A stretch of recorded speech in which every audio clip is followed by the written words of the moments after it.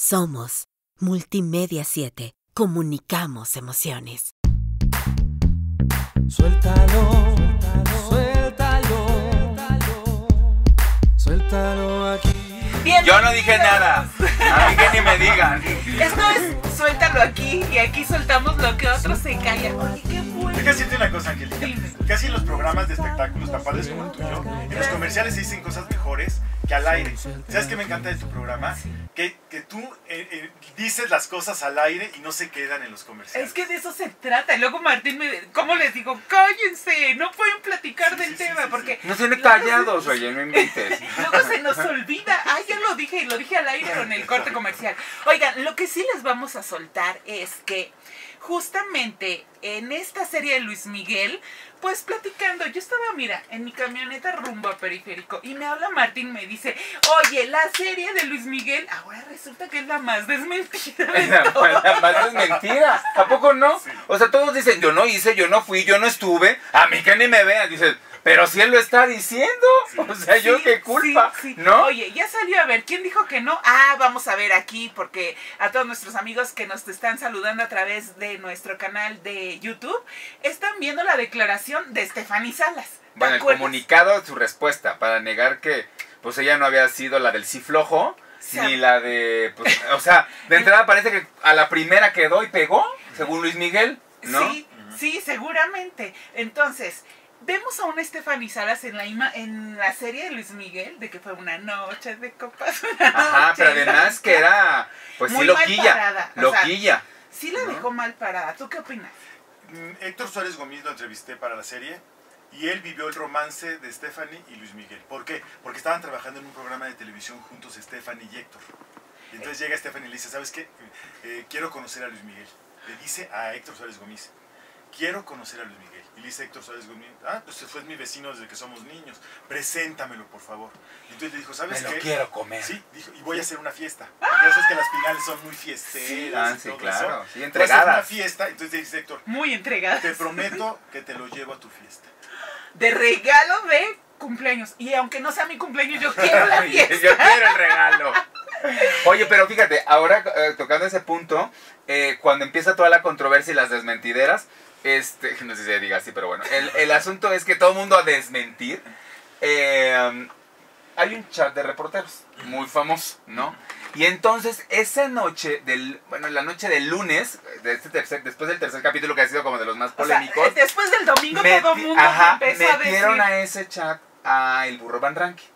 Y dentro de las cosas que dijo, yo pensé que no iba a contestar, pero pues hay un montón de reporteros ahí, entonces era un bombardeo de preguntas. Y tengo los audios. ¿Tienes los audios de ahí?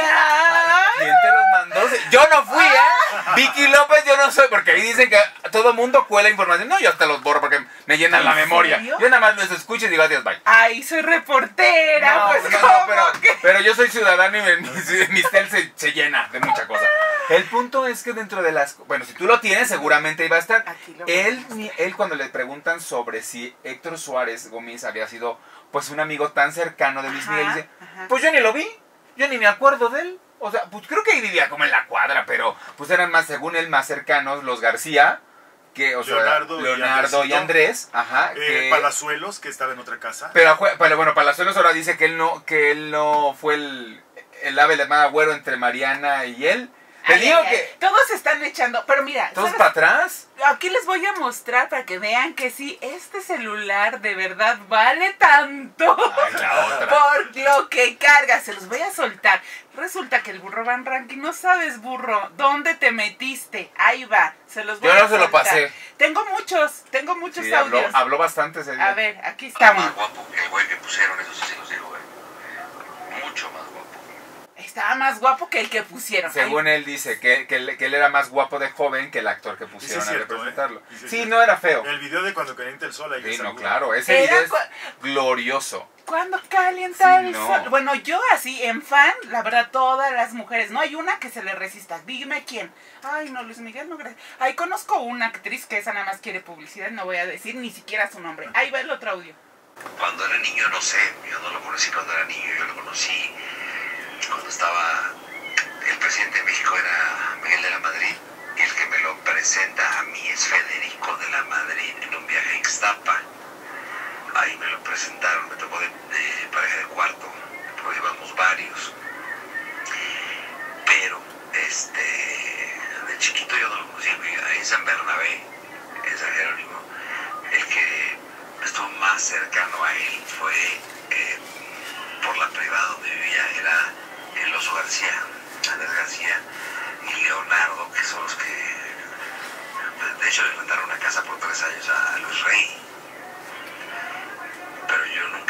vida vi a Héctor Suárez Gómez con Luis Miguel, en la vida lo vi.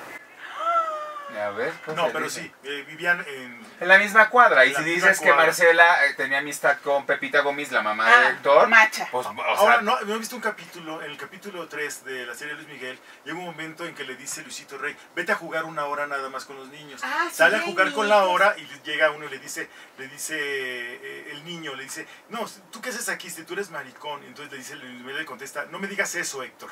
Al decir Héctor, se está refiriendo a Héctor Suárez Gómez, que seguramente ha sido César Héctor Suárez, Hernández. que pues que ya sabes cómo son los Suárez que... Sí, claro, por supuesto. Pero qué remolón. Le hacías bullying, Gomis. O sea, de- Ahora, desde entonces. Palazuelos, su papá es, eh, no sé si viva aún, es abogado o era abogado en aquel entonces y vivía en la misma privada. Entonces Rey, que es listísimo para sacar favores, cuando tenía que ver cosas de contratos, iba y le tocaba a la casa de Palazuelos para que el papá le leyera el contrato y lo aconsejara si firmaban o no Ah, firmaban. claro. Entonces, fue claro que vivía ahí. él- lo que pasa es que el burro no sabe porque ya lo dijo. Él no lo Porque era conoció. reburro. Y no lo conoció ¿cómo? de niño. Exacto, pues él no lo conocía, era reburro. Oye, no, pero pues sí. el, el Diamante Negro, Palazuelos, él comenta que al final del día ver a una mujer en donde la deja mal parada, no le gustó. Que a Stephanie Salas dijeran que era una noche de copas, porque según él sí tenían una relación. Según Que él. Lo que te estaba diciendo, lo le dice Stephanie a Héctor, lleva, preséntamelo por favor, Así, voy, a hacer, un- retomemos. voy a hacer una fiesta. La lleva a la fiesta, en este momento conoce a Luis Miguel y ese mismo día estaban en la recámara teniendo relaciones. Ahí está. Entonces sí fue de un tiro. La, la- Pero después se siguieron viendo No, porque sí, Héctor Suárez los acompañó, a, me dijo, a Tequisquiapan, parece que fueron a Valle de Bravo, iban a esquiar a, Oye, a entonces, a- esa historia lago. que dicen que Luis Miguel andaba tras Alejandra y que mientras Alejandra se tardaba horas arreglándose, eh, pues este... Ah, sí lo contamos aquí. Stephanie Salas, eh, bueno, le daba la bienvenida y lo entretenía. No, eran muy buenos. Ahora sí que era una amistad muy de amigos la de Alejandra. Alejandra. Iba a sus fiestas, a, a- te digo, al, al penthouse de, de Polanco o a la Casa de las Lomas. eh, en- entonces eran muy, muy, muy amigos. Pero no, eh, nunca fue jamás le he oído hablar de Luis Y Miguel. nunca tuvieron un romance. Jamás. Eran cuates Eran de la cuates fiesta. De la ¿no? fiesta, exactamente. Oye, pero ¿a quién más ha desmentido que no, que no era lo que... Ah, vi también Isabela Camil. eh, Fue uno de los grandes amores de Luis Miguel, Claro. ¿no? Porque parece que el papá también de El Isabela papá, Camil. el papá adoptó a Luis Miguel cuando no tenía casa. Ah, y se lo lleva a vivir a su casa y vivió junto con Jaime, con, con esta Erika, que Isabela en aquel entonces era Erika, es su verdadero nombre, Sí, la bipolaridad, ya sabes. y entonces la conoce, o sea, vivían juntos, jugaban juntos, eran adolescentes Y tuvieron el romance. O sea, yo, ese, yo diría que es el primer romance de Luis Miguel importante. El segundo es Mariana Yazbek. Pero no habla en la serie de, Isa- de Erika. No, todavía Hasta no, todavía no, pero ¿Por tiene qué? que estar. Porque ves que la historia ven de Va, niño, viene, va, viene, va, todavía viene. de niño no llega a la etapa de... Pero tiene que estar, ¿están de llegar, acuerdo? Sí, llegar. o sea, Isabela Camil, ahora sí que se agarren, porque todas las mujeres de Luis Miguel van a salir ahí. La que fue de una costón de un día, la que era mi noviecita formal, la que era una trepadora. Hay de verdad mujeres y actrices que les digo, es darles publicidad, pero no lo- nunca lo conoció. En un concierto nada más le volteó y hizo, ja. Ay, no, me dio un beso, era lo máximo, me invitó a salir. Erika Buenfil. Le platico su historia. A mí me la platicó Erika Buenfil. Sí, venga, venga, cuéntala, Venga, cuéntala. venga, que fue, que fue un concierto, estaba en la fila, quién sabe qué, hasta atrás, con una amiga. Y ustedes saben lo que hace Luis Miguel en los conciertos. Eso les va a encantar. A ver. Manda a todo su equipo y le dice, súbanse hasta los pisos más de arriba, de los palcos, donde sea, y traigan a las niñas más bonitas. Ay, no es cierto, Entonces, César. las dos primeras hileras son de Luis Miguel y no las venden. Entonces, Eso sí sabía, esos pero no secretarios, cabía- esos asistentes van, recopilan a las niñas más bonitas y les dicen, te vamos a dar pase hasta la primera fila. ¿Quieres? Por supuesto que quieres. Dice, y después hasta te, pueden, te puedes ir a cenar con Luis Miguel. No, bueno. Llegan las niñas y las acomodan en la primera, segunda hilera. Entonces Luis Miguel tiene un poder, tiene una táctica de seducción. Él se pone perfume en las manos, un perfume finísimo que tiene un fijador maravilloso. Entonces en el momento que las niñas le dan una rosa, ah, porque aparte los asistentes les dan rosas a Sí, las niñas cierto. para que se las den a Luis Miguel, no las compran ellas. El momento que la niña le da la rosa, él agarra la rosa, pásame tu mano, Angélica, no te vayas a enamorar de mí. agarra la rosa y el momento que agarra la rosa le, le- le- le deja el perfume, las marca como si fuera un Ay, como un galán. león, Exacto, así, que las marca su territorio. Entonces las niñas de repente hacen esto, ya cuando ya, entonces ya están, ya están- exactamente. Ay, no. Y entonces ya Luis Miguel ya echó ojo entre las niñas del primero, entonces le dice a sus asistentes, es la dos, la, es la tal, tal, son las que quiero que les van a ir a cenar conmigo. ¿Y si Llegan después los asistentes y le dicen, ¿quieres ir a cenar con Luis Miguel? A su, a su, a la suite presidencial de tal hotel. Y entonces terminan en la suite presidencial de Luis Miguel. Y no cenando precisamente. Oye, O sí, o sí, una buena Cenándose.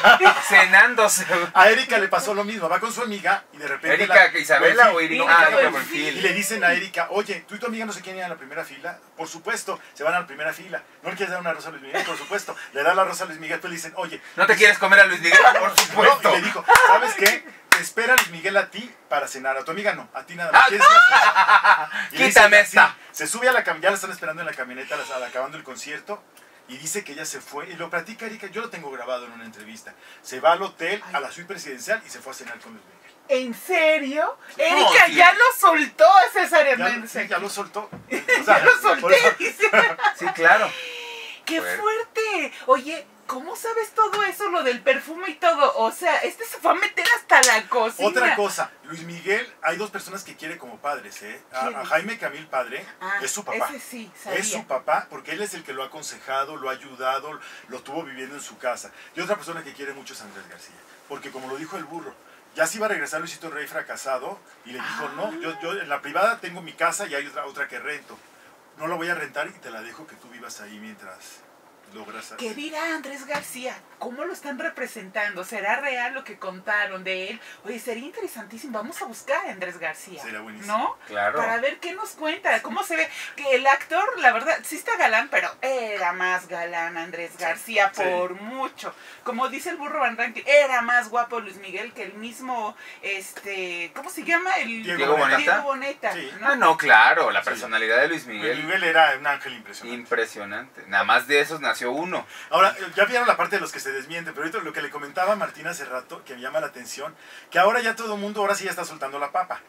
Ah, o la foto, ¿no? Y nunca querían soltar la papa porque parecía que habían firmado un contrato de confidencialidad que no, a razón de que no soltaba nada. Y ahora ya pues. como lo están diciendo, ahora resulta que ya todo el mundo está diciendo las cosas. Como este de la disquera que acaba de decir, que el hijo, que, que Sergio es hijo del negro Durazo que tuvo con Marcela Basteri y no de Luisito Rey. Ay, con esa Que por eso, declaración que por nos eso vamos. Luis Miguel no lo tiene abandonado en Porque- Guadalajara y no lo reconoce Porque no es hermano. Porque no es hermano, es medio hermano sería, Y es del negro durazo. del negro Durazo. Que el negro ese te a mí ya feneció, ¿no? Ya. Ya. Sí, ya.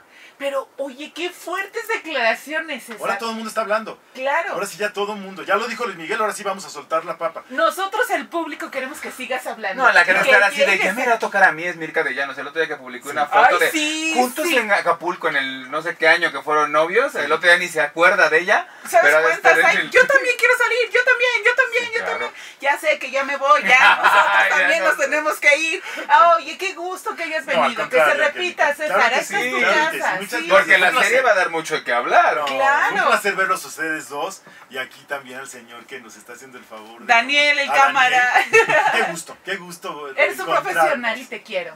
Lo Sí, sabes, te queremos. Con mucho gusto. Gracias, nos escuchamos el próximo programa. Soltamos aquí lo que otros callan. Suéltalo aquí, mis amigos. César Hernández, Martín Farfán, Angélica Palacios. Gracias, gracias por suscribirse y darle like. Adiós. Gracias por sintonizarnos en Suéltalo aquí con Angélica Palacios. Soltamos lo que otros callan. Hasta la próxima.